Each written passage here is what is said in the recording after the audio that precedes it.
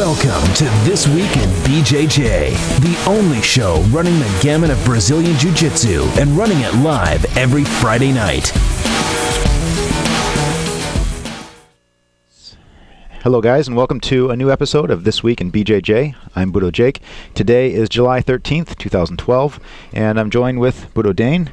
How are your uh, fingers doing today, Dane? They're getting better. I have a couple of blisters, and I wear them with pride.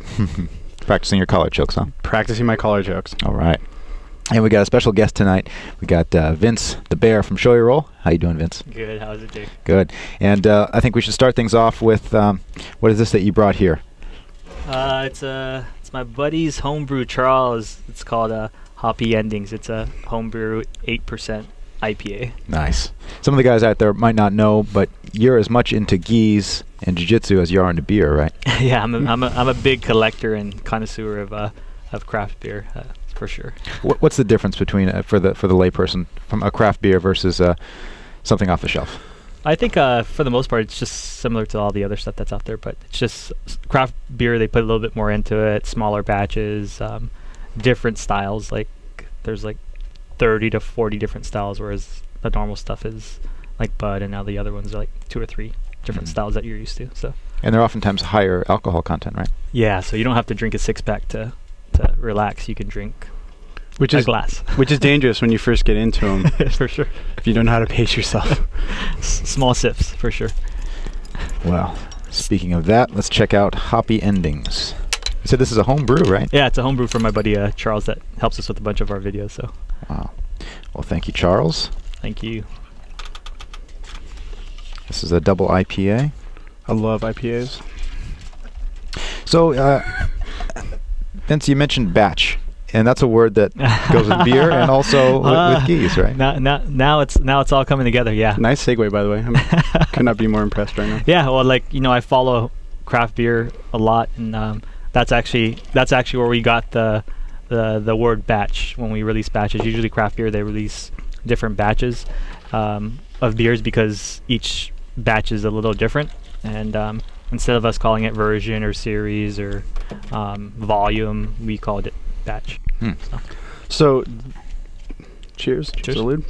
So, did the idea for Shoyoroll with the small batch gis come before you're into beers, or it, or was it something that it developed at the same time? Um, no, no, I think I was into beers around the same time, you know, and um, so it, it kind of fell hand in hand with each other. You know, Okay. um, it was just I didn't want it to be the same as I didn't want it to be series. I didn't want it to be stuff that was already out there in the market. I wanted it to be something like a little fresh and something different. So Yeah, I mean, uh, I didn't give you a proper introduction, but you are the man behind the hottest gis out there. Shoyoroll, and you just mentioned the word fresh. That's exactly what they are. You know that you're not redoing the same gi over and over again like a lot of the other companies are.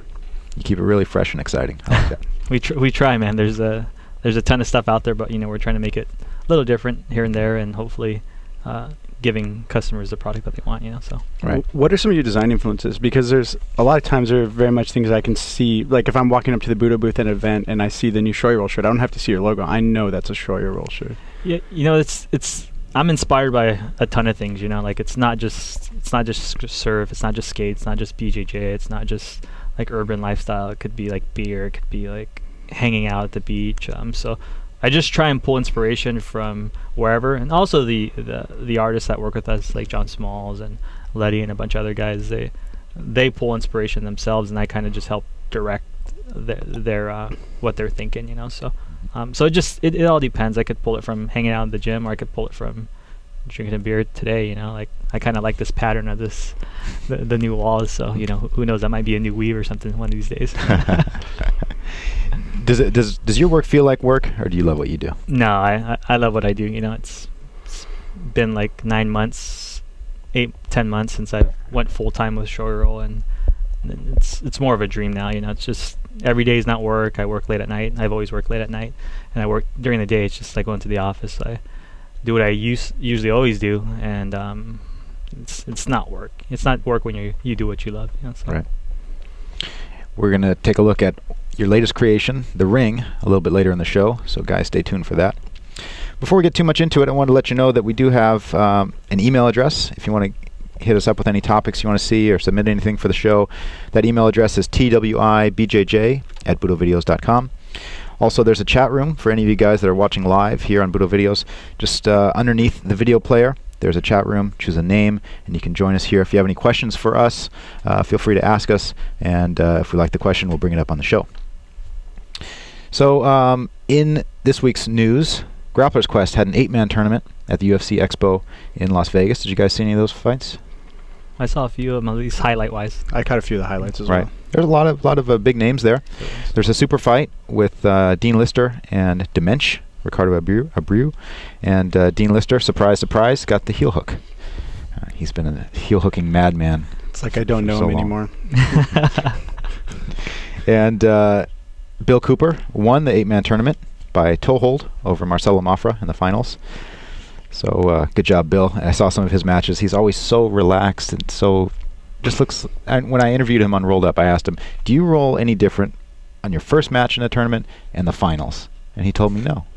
Well, you So- told me that one time that um, he doesn't really research his opponents before Mm-hmm. he goes into t- competitions. He's like, whatever's going to happen is going to happen. I mean, he's Bill Cooper and he's at the level that he's at, so he has that luxury in a way. But that's r- still pretty cool that he's just he just goes in there to do his thing. Yeah. yeah, I How, mean, ca- how can you go in there and just not care and, and, and perform so well? I- I've been I've been lucky enough to follow the California scene of jiu-jitsu for a while. When Blue was when Bill was like a green belt and Jeff was like a a blue belt at the time, and and they they rolled very similar even back then. Like they just went for it. You know, they didn't stuff was exciting. You know, like they didn't really points were important, but not as not as important as trying to go for it and keep people entertained. So it's it's really refreshing. You know, to see those Yeah. guys fight all the time.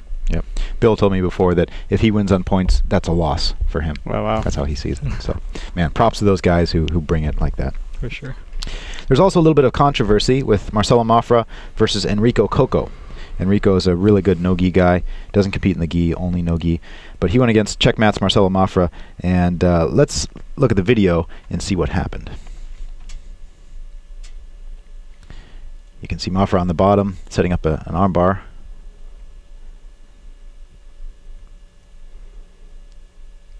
There's looks like a hand. That's that looks like two taps to me. Yeah. So you saw one tap on one leg and one tap on another. on the thigh, right? Right. And uh, so there, Enrico saying he didn't tap. Marcelo says he did. I would hate to be the ref in that match. Yeah. oh man. Possibly the hardest job in the entire world, being a BJJ ref. And you will never get it right, in in everybody's opinion. Right.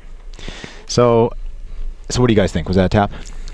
Looks really close to me. That's just from my angle, you know. I don't know. It's, it it could have been in between. I don't know, but I mean, it, it was pretty close to a tap. Yeah, after the fact in slow motion, I counted two taps, so it's hard. Right. It's really And, hard. and that's right. The IBJJF rulebook says that it has to have two. Well, let me just read the.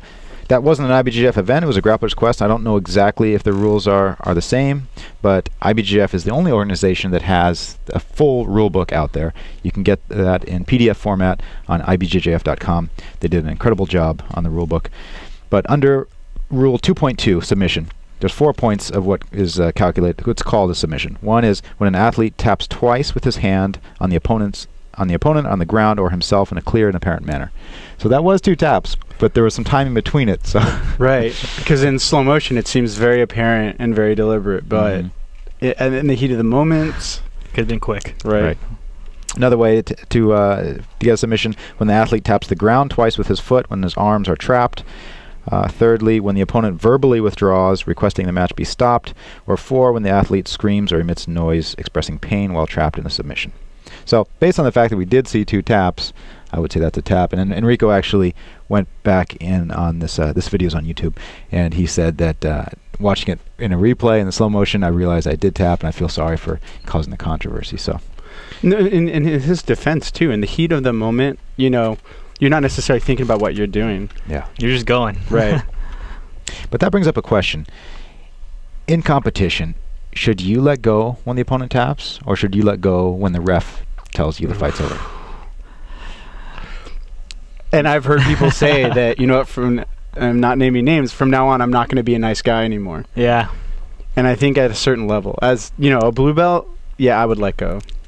I guess it depends how many times you got burned by the rules or the ref, in your opinion, right? Right. And sometimes the ref's on the other side and he can't see the tap. Mm-hmm. Uh, every time I've been in a competition, I've let go if the guy's tapped, and thankfully they have when I tapped. right. But um, you have to wonder. You know, I've talked to guys before that have said that that, that they let the guy go after he tapped, and then he said he didn't. And Yep. Then, and then you get this mess.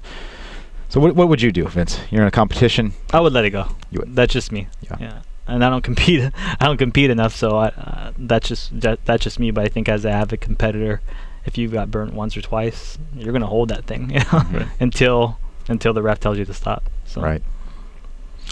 Psych in the chat room says, "Let go if you feel the tap," and uh, although Big Shrimpin says that uh, he'll let go when the ref stops. I love that name. I love the chat room names. It's you guys always deliver. Right. Awesome. So uh, the jury's still out on that, but um, yeah, for me, I would let go. It's I don't want to hurt anybody. For sure. So uh, next up in the news, um, we had a contest for a new Nogi rash guard called the Jet. Incredible looking rash guard that just came out. want to congratulate Dini Abdul Gapa- Gapar. He won the Instagram contest. I don't know if we have a picture of that rash guard we can put up here. Uh, there he is in his winning photograph. So we have a lot of uh, contests from time to time. Follow us on Twitter, Facebook, and Instagram if you want to be uh, up to date on those contests. Oh, and uh, Denny, contact us on Facebook so we can send out your rash guard. So uh, one more time, we've been hitting this a lot lately, but I we all here think it's really cool. And um, we uh, Jake, but Jake and I got an email from um, Bishop BJJ yet again about his study about the the world's black belts in terms of his statistical breakdowns. Um, the full report is available for everyone out there, so you can go there. He's decided he's decided to do it by email, so you do have to submit your email, but you can get the full um, report. 18 pages, full color, a whole bunch of pictures. Um, I'm a nerd, so it's really interesting for me to read. But um, go to bishopbjj.com to get that. And uh, reading over the report, um, we could see it more in its entirety.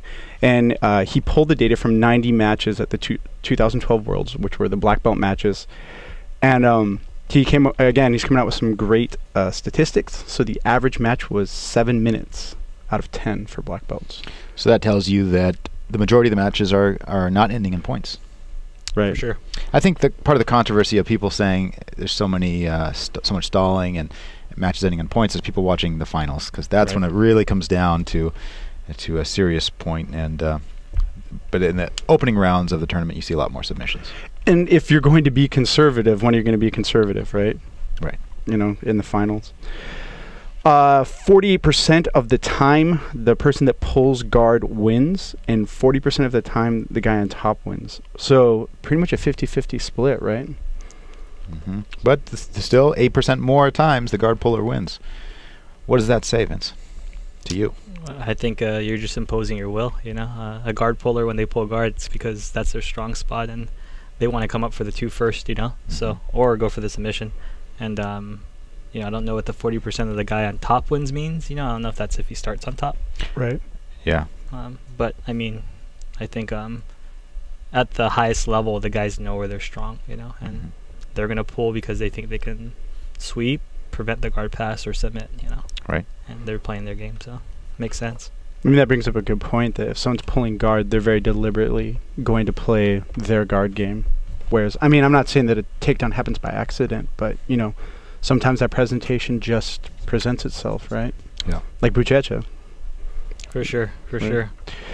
So for passing, which is near and dear to my heart, um, standing, 43% of the, the passes were from standing and 26% were from the knees, which for Guy, for my money, seems pretty accurate. Seems to be my experience. Mhm. Still surprises me that there's that much of a disparity. But that tells me that if you're not good at your standing passes, that's what you should train. Right. Yeah, and with the whole leg drag and uh, popularity and everything, everybody's passing standing now, and no Mhm. one's really, or not, not not not too many people are passing on their knees with that being kind of what's hot right now. You know, so Right. I'm, I mean, also from the knees too. The Berimbolo being as popular it as it is, and that's where it's best set up is from the knees. hmm Yeah, and, and the the full report goes into more detail, but he goes on to, s- to point that the leg drag is more pop, much more popular in the lower weight classes Mhm. and almost non-existent at the higher weight classes. So For that's sure. interesting to know. yeah, which makes sense. And uh, so for the wins with submissions, 35%, by far the majority, the rest of them were like, you know, 8 and 10%, were was uh, chokes from the back. Mhm. Which having worked on my collar chokes from the bottom.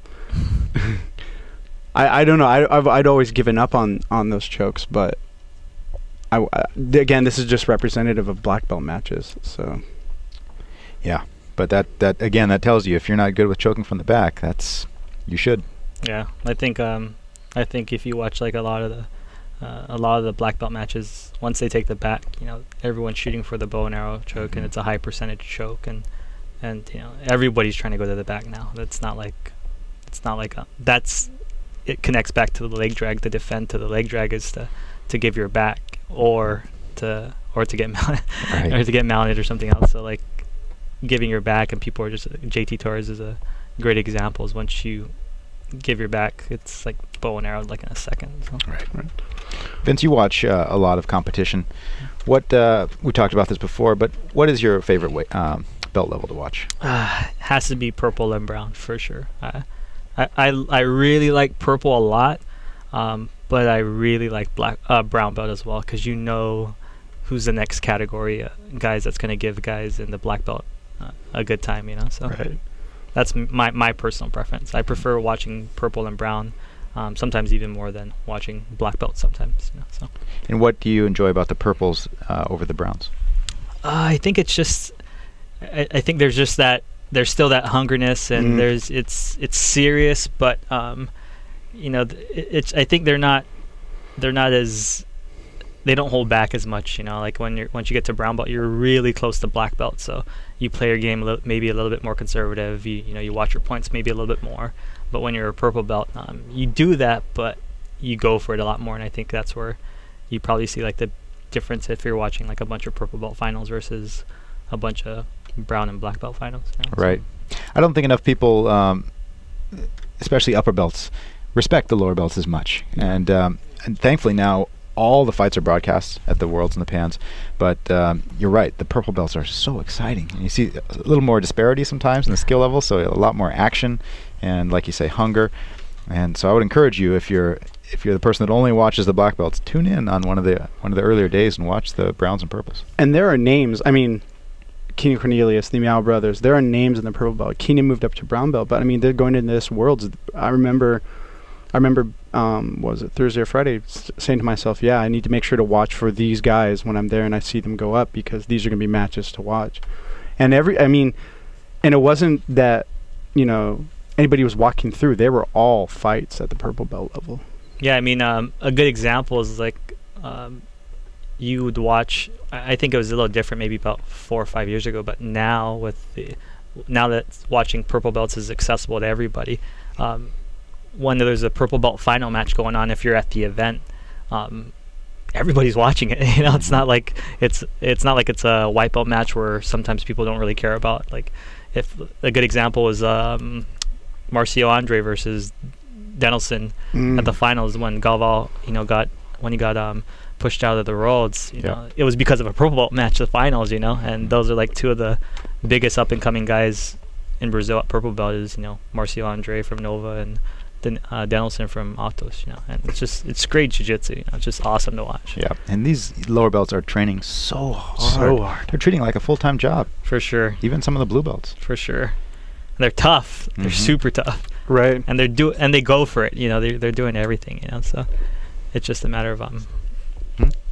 them um And uh, speaking of guys that are treating it like a job, tell us a little bit about the Miyao Brothers. Um, I know you're talking to them recently about uh, their tooth. Oh no, I mean, um, I, I've I heard I heard um, I heard a story through through um, through I forgot who it was, but it was basically just a story about how dedicated these kids are. You know, I mean, um, they're brothers, and uh, you know, I don't think they come from um, a well-off surrounding and background. You know, so they're doing everything jujitsu, living in the gym, training three or four times a day, and The um, Miyao Brothers live in the gym. from what I've heard, I don't, uh, you know, don't quote me on it. This is just like rumors, so it could be completely false, you know. But at least somebody was saying that, you know, what I forgot if it's Jao or Paulo who has, who's missing, who's missing a tooth, you know, and um, and they said that um, they were gonna basically help him out and help him get that tooth fixed, you know, and and he he didn't want to do it because, um, because basically because he didn't want to stop training jiu-jitsu for like two or three days and they were going to pay for it i mean dude that's like so cool you know like how can you not love these kids they're like 105 pounds or 20 pounds and they're winning like absolute categories in Brazil all the time. And um, and they just love jiu-jitsu you know. So like I don't know if that story's true that someone told me and it's like circulating that on the net, you know. But I mean that story, w- whether it's true or not true, I'm still like huge fans of them, you know. Mhm. But it just goes to show you, man, these kids are like super duper dedicated, and these are not the only kids. You know, you have like a bunch of kids here in the U.S., Brazil, and all over that are really starting to take jujitsu seriously. You know, so Yeah. Wow. Not train. Not stopping to train for three days. A lot of people, four days is their training schedule, right? Yeah. Yeah. So, uh, long time this week in BJJ listeners are somewhat accustomed to this room, but um, it's getting a little cramped in here for us. So we just want to let everyone know that maybe not the next episode, but we are working on a new studio that's bigger and nicer, and um, we're hoping we're hoping that it's going to be apparent when we do it, and uh, we're showing some pics right now. That's just one corner. As you can see, there's no ceiling, so I'm trying to convince everyone here to let them create a pulley system to lower me from the roof. like Lady Gaga, right? Exactly. Angel wings and everything. so if you guys could send emails and vote for that, that would be fantastic. Go. I'll wait. Still got uh, lots of uh, guests lined up for the next uh, few weeks uh, that we'll let you know about in the future. But uh, some people were asking where Sean was tonight, and uh, he had some personal matters he had to attend to. Apparently, he had uh, a break-in at the academy, so he's uh, he's busy fixing things over there, and uh, we expect him back next week. Uh, we're going to cut away to a commercial in just a moment here, but before we do, um, just want to let you guys know what's coming up. We're going to talk about Roger Gracie, some new products, and some new Shoyoroll items. So stay tuned, guys. We'll be right back. BudoVideos.com, home of the world's largest selection of quality jujitsu kimonos. Shoyoroll, Storm, Tatami, Bull Terrier, Venom, and others. Styles from more than 30 top brands in stock and ready to ship. BudoVideos.com. You're only a click away from owning a new gi today. Okay, guys, we're back. Uh, Vince, let's talk about you for a moment. Uh, where are you training these days? Well, first of Uh, all, where did you start? Uh, I started training at the Gracie Academy back in like '99 when I first started for a couple months, and Dang. um, and then um, I ended up switching around with a couple places for a short period of time, and I ended up training with Tinguinha for a majority of my the time that I've learned jiu-jitsu. So When you were training at the Gracie Academy, who was teaching? it was Kaike. Um, I think Rener was a Rener was a green belt. Uh, was a purple belt, and Rorion was uh, teaching some classes. Royce was still there for a short period of time. Um, but I think um, the head teacher there at that time was teaching most of the classes was Kaike. And where were you living at that time? I was still living like in the Long Beach area, and I was just commuting over there. I think it was in Carson, off in Carson. So um, I, I didn't have enough money at that time. I was broke, uh, and uh, and I only trained there maybe like once a week. That's all I could afford at the time. Mhm. Um, so I did that for like two. I did that for like two um, two months, and then after that, I ended up spent shifting around a little bit, trying to figure out where I was going to train, and then I ended up training with uh, uh, Tinguinha for I forgot how long, maybe like six, eight years or something like that. Mhm. And um, I got my brown belt from him, and and now I'm training. Um, now I train with um, Leandro Vieira and um, um, some of those guys, and, and whoever I have access to that comes in town. So But Leandro moved up north, right? yeah, Leandro moved up north, and um, so I just whoever comes through, you know, it's mostly like some um, my buddy, um, a good friend of mine, Chris owns a he owns a gym right next to the the rail studio. It's literally like two blocks. So um, he's a buddy. I, I got into I got him into jujitsu like 2002 or 2003, and now he owns his own gym like two blocks away from roll. So Nice. uh, instead of me driving 45 minutes to go train um, in Yorba Linda, I get to train like literally like two blocks away from Shore when I'm done. So uh, and it's my, it's you know it's a good personal friend of mine. So that's where I'm working out now. And that's a checkmat gym. It's a checkmat gym, yeah. Tell me a little bit about uh, checkmat.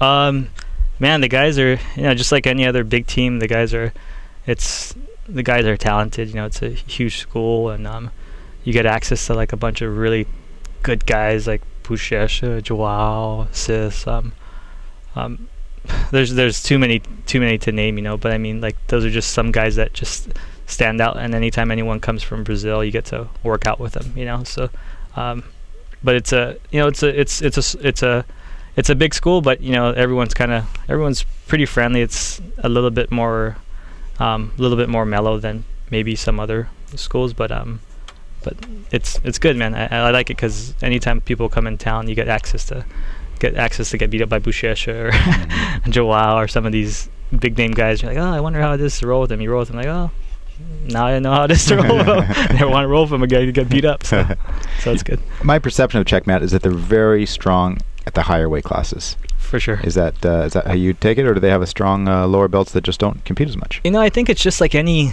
big team. You know, I think um, depending on who can make it out to the Worlds, or because you know, I'm I'm more than positive Alliance and Gracie Barra and um, and Nova União have really talented students in Brazil.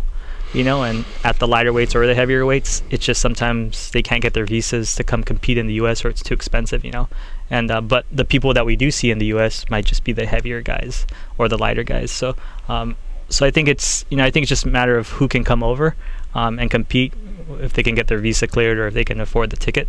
Um, but as far as like locally, yeah, I think in general, I think th- at the heavyweights, Checkmat has a really good showing. You know, just like Atos has a a, a really good showing from I would say from middle down.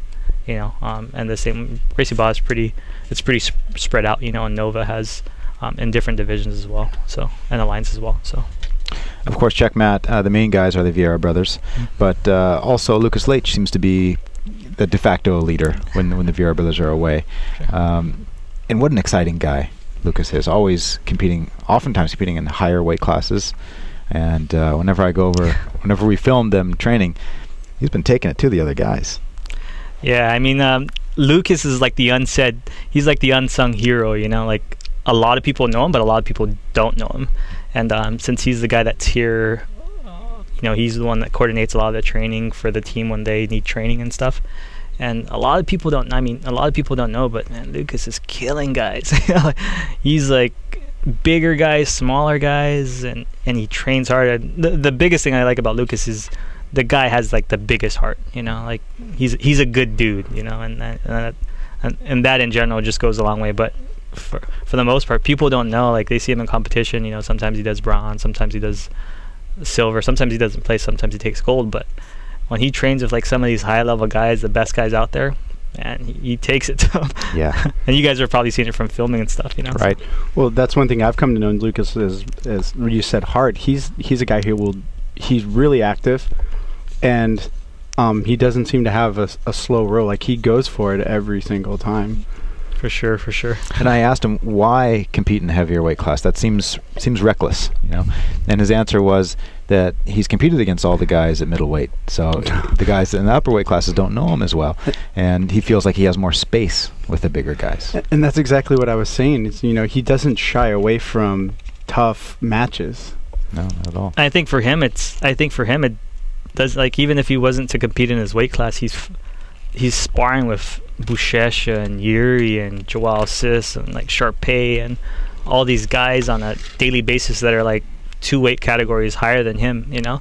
So and he's doing well with them, you know. So why not go Right. up a weight and fight uh, in the heavier weight when he's doing? So is that what he's like in training? He'll just he he you know.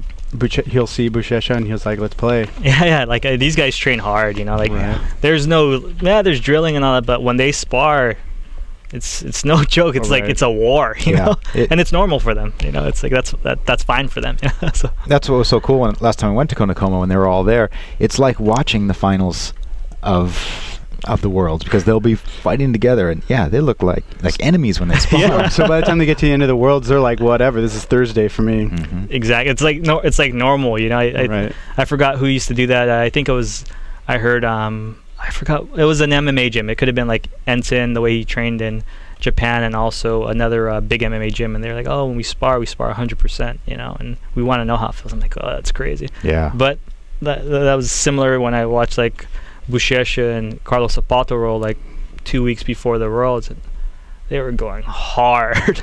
I'm like, it's like two weeks away. You guys are going, you know, and and it was fine for them. That's just normal for them, you know. And I guess that that might be, uh, you know, that might be a tribute to some of their success, you know. So Syke in the chat room brought up something which I've heard before, but uh, maybe you can shed some light on this. He said that the maybe this the uh, lighter guys from Brasa went to Atos, while the heavier guys went to Checkmat. I mean, I don't know. I don't know the, the, the lineage that tight to be able to even give like a, Right. a decent opinion. So I'm not I'm not sure about that Right. at all. It certainly could be true. For sure, you got to ask that one like Leo or uh, Galvão or someone comes in. So Vince, you're a, a four stripe brown belt. uh, four stripe brown belt, yeah. When are you getting your black belt? Uh, man, whenever it's ready, I'm I'm in it for I'm in it for life, and I'm in it for the long haul. You know, I think there comes a time where you're like, oh yeah, black belt would be. When's the black belt coming? You know, when do you think I'll ever get my black belt? But I think once you like, kind of accept that you're gonna be doing jujitsu long term and you're going to be consistently learning, like after a while, you're just like, uh, whenever whenever I'm ready, you know, whenever the person thinks I'm ready, they'll give it to me. You know, so who knows? Could be two years, could be ten years, Could be tomorrow. could be tomorrow. Who knows? Is anything going to change for you when you get your black belt? No, I think um just trying to just trying to consistently keep up and train, you know, to be able to lead by example. Once you get to become a black belt, you kind of have to you have that um you have that extra responsibility, you know. So um I think more just probably just changing my mindset instead of when you go into the gym, you know, you just don't go into workout like you have to you kind of have to be a, a a- leader or a figure to show show a good example to the the lower belts coming up. So I think that's probably more just mindset. That's a good point. Favorite position? Half guard for sure. Great. Stay tuned, guys. We'll have uh, Vince show us something on the mats at the end of the show. Okay, uh, let's take a look at some new products that have come come out uh, this past week. First item is something that we filmed a couple years ago. This is a Braulio Estima arm drag seminar.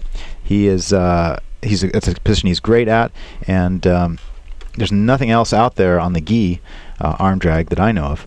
And uh, this is a seminar he did at Gracie Barra Yorba Linda. There you can see him uh, teaching with Kyron Gracie when Kyron was a brown belt. Oh, Lots of really good drills.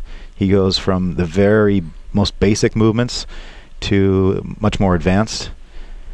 And uh, so, yeah, if you need more help on your arm drag, I think this would be a great product for you. This is not a DVD, it's available on demand. So, if you want to purchase that, you can watch it immediately wherever you are around the world.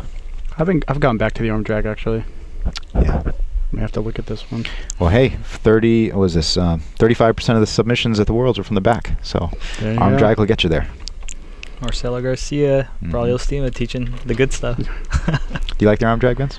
You know, I used to be, I used to geek out on it really hard, like when Marcelo was killing everybody with it, you know, and I think, um, just like any jujitsu movie where you kind of geek out on it for like six months and then like, oh, this is all you want to do. Then Mhm. you like forget about it for like three years. Right. And you're like, but I, to answer the question I, I love the arm drag. I just wish I could be disciplined enough to go back and like start re-drilling it so it becomes like an avid part of your overall game, you know, so. See, I went back to it just to open opportunities. I'm not necessarily hopping to the back because everyone expects that, but at least it gets reactions out of people, and I can play something else. So Yeah.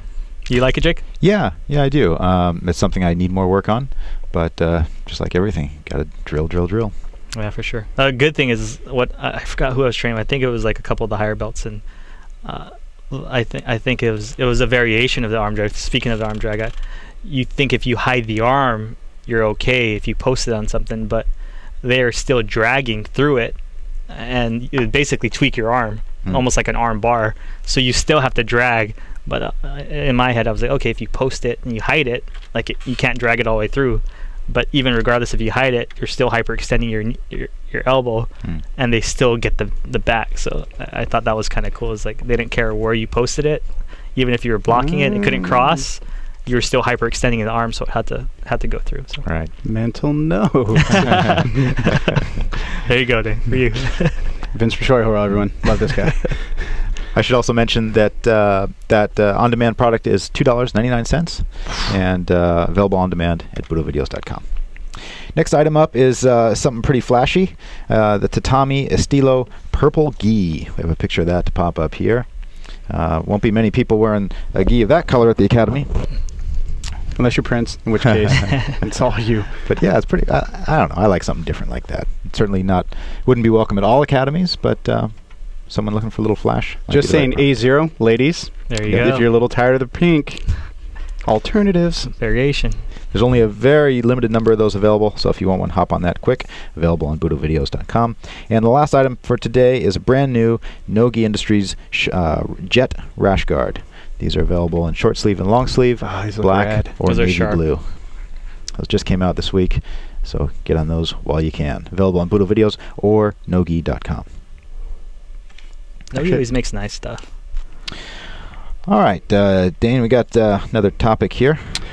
So Roger Gracie has been training at Black House, and um, he said uh, he he's been talking about his goals within MMA. Um, he had that knockout, and it was I think it was in a bit in a way it was. I got the sense that, and you guys can maybe attest to this, that he was kind of not rethinking his entrance to MMA, but what he was doing and his goals in MMA. So um, I think we have a video of that coming up. Um, but did you guys get that sense too that he was uh, kind of like reassessing where he was at in MMA? You know, for the Oh, yeah, future, I he think it's, got uh, knocked it's hard to predict. You know, I think I don't. The only thing that I plan ahead of me is to be the best fighter in the world. You know, and that's what I do. I wake up every day thinking about that. You know, e- each day I have to get better than yesterday, so I know I'll be getting closer from that goal. And apart from who I'm going to fight and when and where, I don't really care about that. You know, I think the more I train, the more opportunity will come, and you know, more more people will be fighting. So my goal is not to fight someone. You know, I don't want to fight a specific guy because that is a very short goal. You know, I can fight whoever in two months, but then what? Then I have to set another goal and another goal and another goal. I think I have just one. You know, I have to be the. I want to be the best fighter in the world. Whoever's on my path, they just, you know, think that I have to remove out of my way to, to get there. So I think one day I just want to look back and say, you know what I mean, I faced them all. I was able to beat them all, hopefully, you know. and, you know, and when I'll be tired, I'll be able to retire a happy person. All right. Thank you, Black House, for that uh, that interesting video. I mean, speaking of his King Mo knockout, I mean, who's if you're gonna touch up your uh, stand-up game, Black House is a place to go, right? Mm-hmm. Yeah, a lot of talented guys over there. Yeah. So, do you? I mean, he was he's probably the, one of the most prolific competitors in BJJ. Um, do you think he really needs to do MMA? I wonder if he's if he's bored of jiu-jitsu. He's been at the top for so many years. What else is there for him? Needs maybe an extra push. You know. I mean, that, that's what that's kind of like. It's either goes. like, A lot of the jiu-jitsu guys get out of jiu-jitsu because they need to make more money.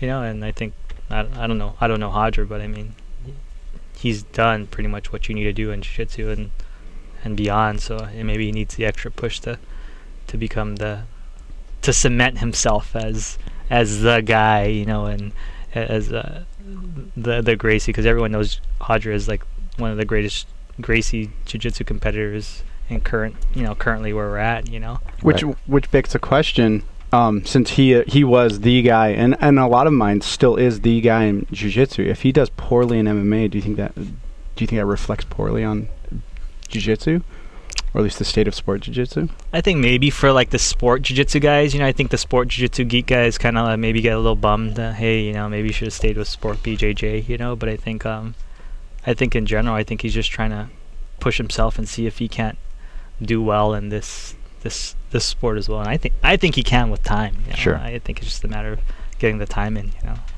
But is age going to be a factor? Yeah. That's what's tough. It's just like jiu-jitsu. it's Mhm. like you have these kids that are coming up. They're like 18 to 21, and they're so well-rounded in MMA. Great college college wrestlers, great stand-up boxers, great Muay Thai kickboxers, and and great jiu-jitsu guys. So, Right. so it's like you have these guys blending this stuff for like the last four years, and you know you're and now you're fighting age just like in jiu-jitsu. You know, so But you got to admire him for not just resting on his laurels No. and going out there and pushing himself against, like you said, the best guys in the world. Um, you know, I don't think that his motivation is for money, even though that would be the right step if he was looking for money. Um, I think it's just that he's looking for the biggest challenge. which is awesome. Yeah, and that sure. that's that's exactly what I think in my in my mind too. I think he's he just wants to push himself, and if he's willing to continue to push himself in that direction, regardless of whatever the outcome is, you know, that just you get way more res- respect, in my opinion, just for making that extra push. Right, because Right. I got the sense that his his academy was doing well enough that he could support himself and support his family, and you know he definitely has the name. He may not be making money, you know, necessarily from from winning the Mundials or whatever, but his name was helping f- you know market his academy. So uh, really, to go into MMA was purely purely for the challenge of it.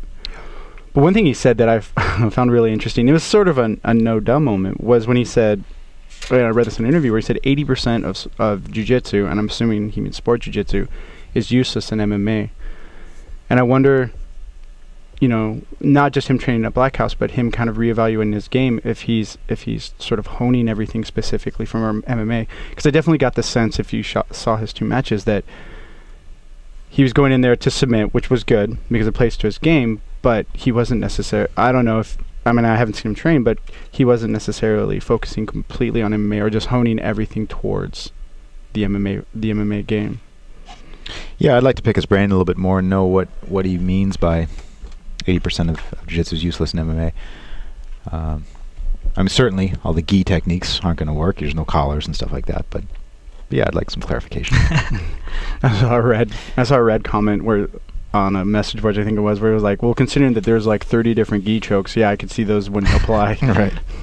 Well, you figure in MMA also, you know, I mean, there's, it's, it's with the way it's evolved, you know, like normal jujitsu, that's basic jujitsu arm bars, chokes. I mean, with punching, getting punched in the face, and and wrestlers and everyone learning jujitsu, it's not as effective as it used to be, you know, unless you're getting like super creative with it.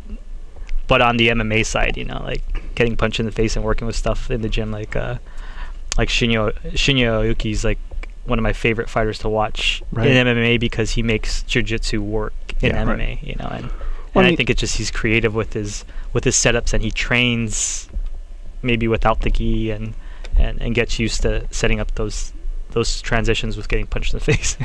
I mean, I've grappled a couple guys that were not necessarily jiu-jitsu competitors, but they'd competed in MMA, and you have to be aware of submissions. You know, like I wouldn't necessarily say you're immediate purple belt, but there's there's awareness there where you can't just go in as a pure BJJ competitor and expect to just you know pop into high-level tournaments anymore.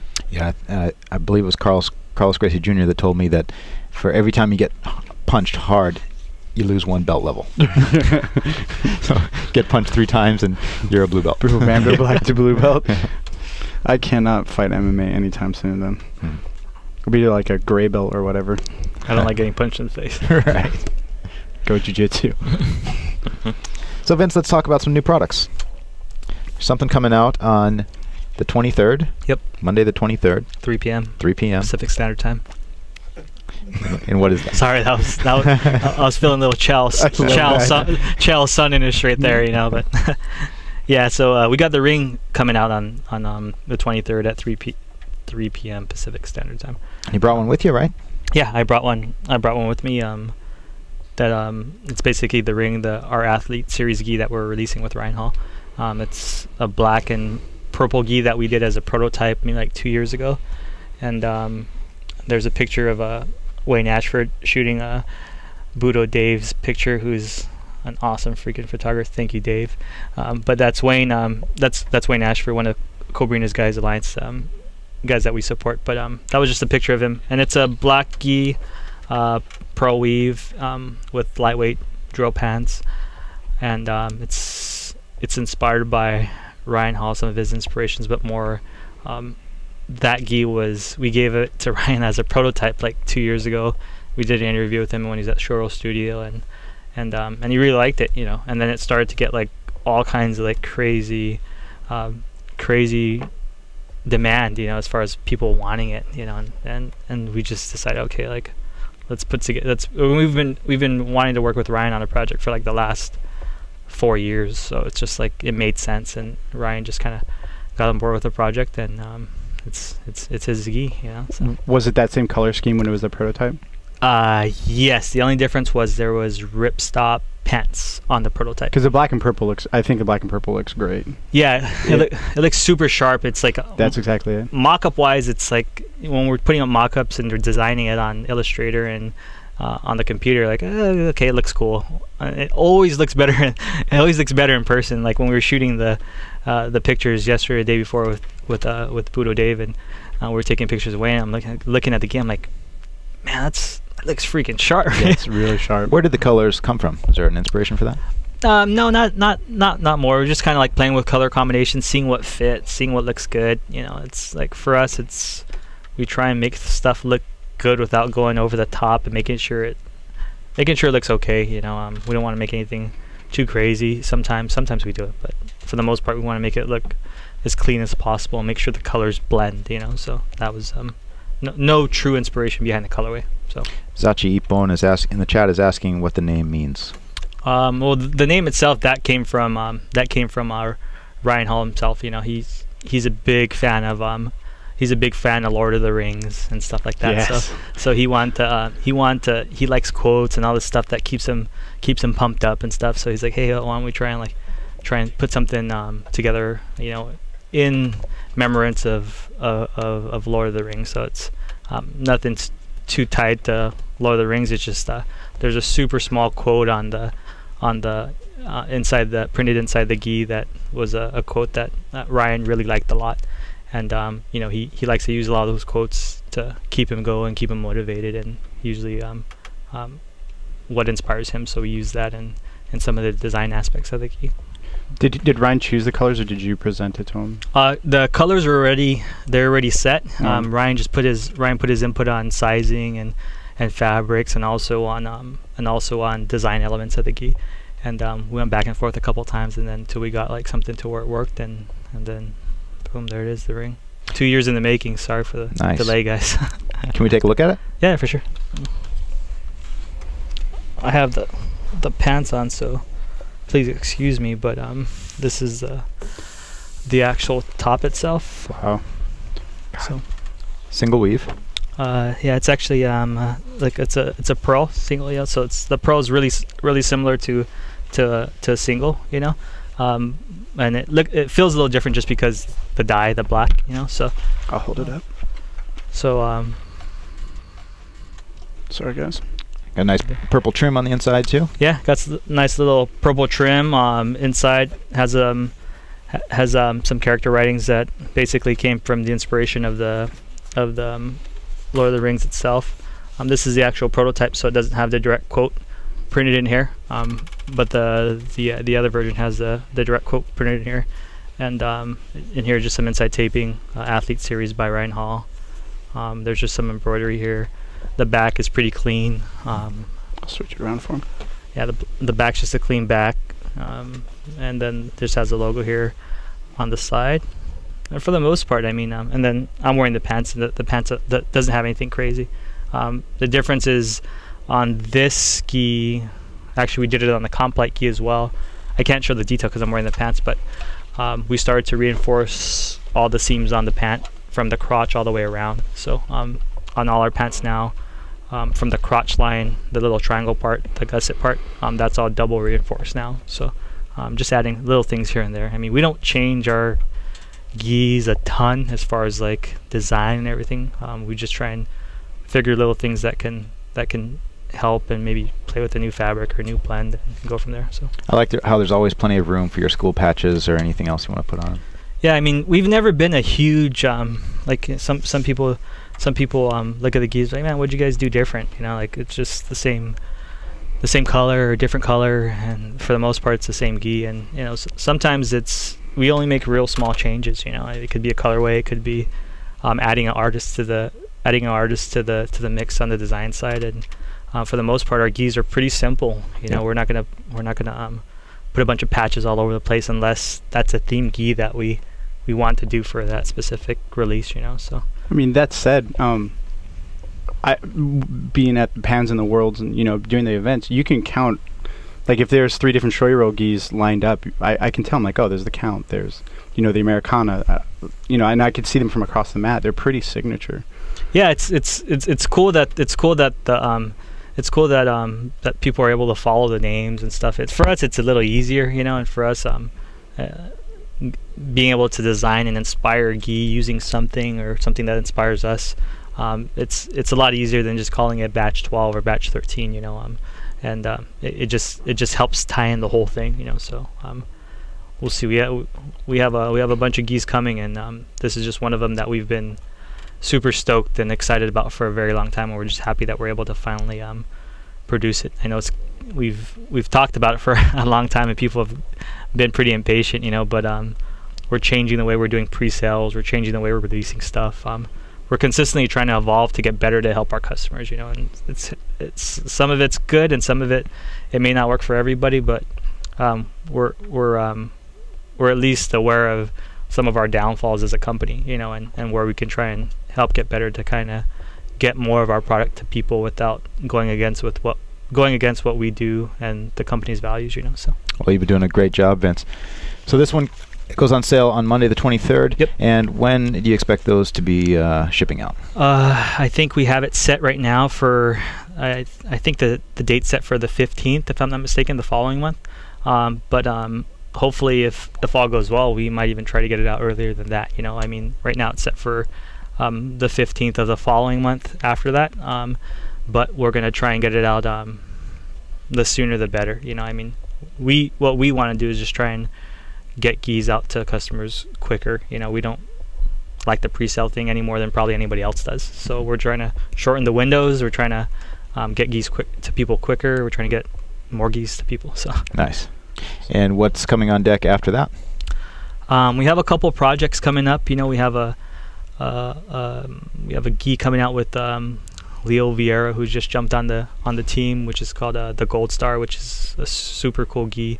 Um, we have um, the Rio Koi that's right after this um, gi will be released, and that's um, that should be hitting next month um, if all goes well. You know, and we we've we've put some of the information out there, um, and the reason why we haven't really followed up on on the releases is because um, before we used to prematurely do stuff a lot. And we you know we didn't know how our factory worked before. Um, we were just like, hey, they said that it's going to come here, we trusted it, and it comes two months later and you know it's it, it's our factory so we have to own up to it you know so um, now we're just trying to get information to people and letting them know when releases are coming when we for sure know it's getting really close to hitting the port here in, in LA you know so um, the the Rio Koi should be um, close to release next month um, if all goes well you know hopefully by the end of next month we have um, a better grasp on when the Rio Koi will be released and it should be very soon uh, after this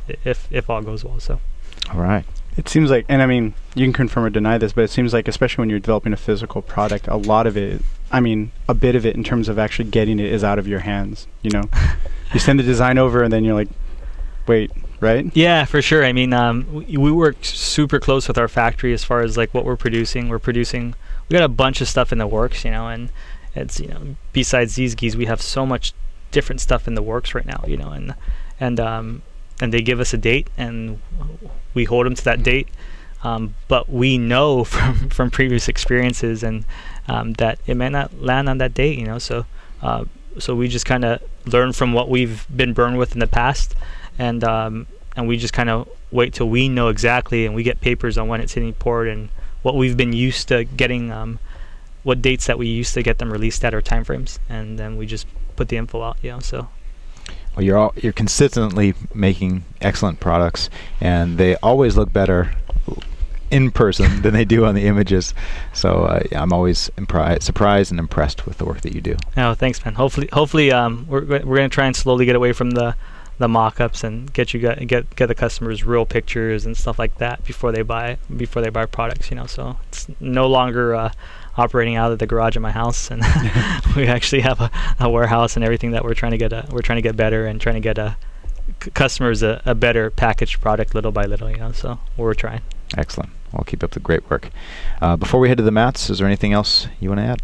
Uh, no, just thank you guys for thank you Budo Videos for doing doing everything you guys do for jiu-jitsu and um, you know I think uh, a lot of people don't understand is uh, our sport our, our sport is our sport is really big you know we're all jiu-jitsu geeks and jiu-jitsu fans and anytime we have companies that stay in the stay in the jiu-jitsu business for a long period of time and get a get information and product out to uh, customers and it, it, it, I'm just I'm just stoked on it. I'm stoked on what Budo Videos does for the sport and also for the consumer. You know, um, ten years ago, we had to watch VH, VHS tapes. Right. so two years, two years or years past. So uh, um, I'm just thankful for what you guys do, and and we're uh, I'm- stoked to be on the show. So thanks, guys, Well, thanks. Thanks a lot for those kind words. and thank you for all the Shoyoroll customers that support us.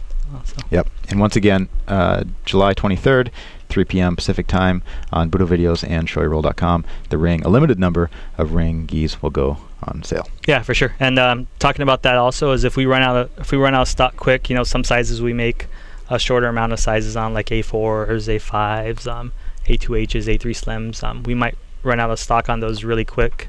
Um, and sometimes even the popular sizes like A1 and A2. So if we run out of those sizes, you know, quick, we apologize, and uh, we'll continue to try and pick up those quantities on the next run and the future runs. So sounds good. Dane, anything else from you? Nothing from me other than this gi looks amazing. All right. Well, we're going to head to the mats. So uh, enjoy these commercials, and we'll be right back with you guys. BudoVideos.com, home of the world's largest selection of quality jiu-jitsu kimonos. Shoyoroll, Storm, Tatami, Bull Terrier, Venom, and others. Styles from more than 30 top brands in stock and ready to ship. BudoVideos.com. You're only a click away from owning a new gi today.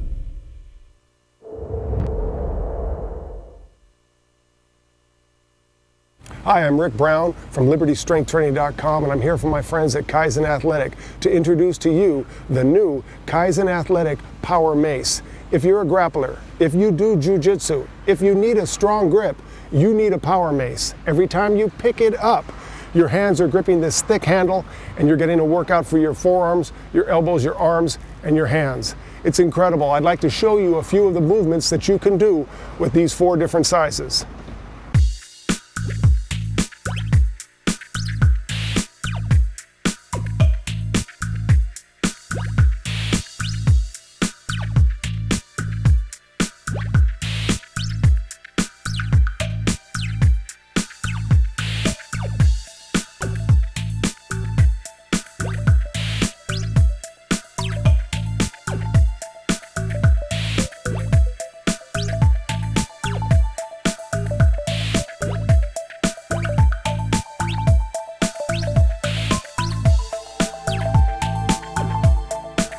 The Kaizen Athletic Power Maces are available in 15, 20, 30, and 45 pounds and are available at budovideos.com.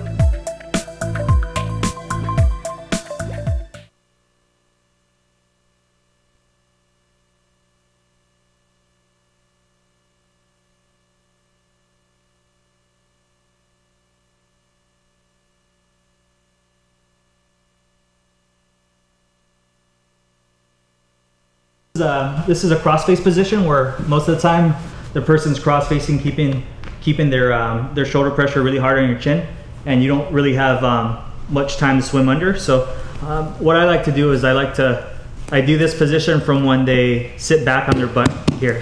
So usually this is a real common half guard pass where they keep pressure on the chin and they keep their butt down on the mat here.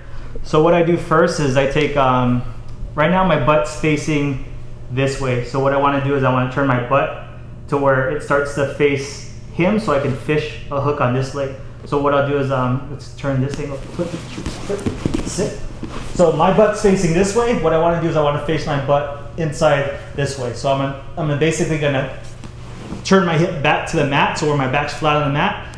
Then I'm gonna push, I'm gonna push my butt right into his, basically into his, his, um, his thigh. So now my knees are pointing this way. They used to be pointing this way, but now I'm scooting my hip all the way into where they're facing this way and my butt's basically sitting on his thigh. What this does is it basically allows this foot right here to catch this hook that's right here. So now I'm trapping this foot down here from sprawling back. Um, and then now what I can do is I get this hand, I capture his sleeve. This hand, all I do is I just cup here so it can't repost the arm. Okay, so now I capture this post uh, with, his, with my leg, and I capture this post with my arm, cupping it. So now he has no posts on this right hand side of me. So now all I'm gonna do is basically, this leg is, uh, it's no use to me now, I don't need it. He can do whatever with it and I'm still fine. Now I use, this is my power leg. So I put this leg on the mat and I put my back straight up and I just bridge. I bridge hard here to come on top and most of the time he'll flop that leg back to sprawl, boom. And now I'm stuck, I can't go any further. But what I do now is I, this leg that's caught, I start to drag it, drag it, and come up top. One time. So, okay, so we go here. I'm just in a regular traditional half guard. Now I grab his sleeve, and now I'm gonna start to move my butt close to him. Here, start to scoop my butt in. Now I have this foot. I just basically hook on top of this foot, and now I just try and fish this leg back here. Now it's on the ground. And also what I do here is, when I, the only reason why I'm turning my knees this way is so I can have the range in my, so I can have the range in this foot to fish back here. If I keep my knees like this or straight, I only have this range of my foot. My knee, my knee can't bend that far. But if I turn my knee all the way to, the, to this way, I can come way back here. So that's, that's the whole, that's the reason why I'm doing that. So when I turn my knee, I capture. So even if he turns it, move this leg out a little bit, even if he moves out even a little bit further, my range is still good. So now that I capture that, I cup the, I cup the, basically the, the arm.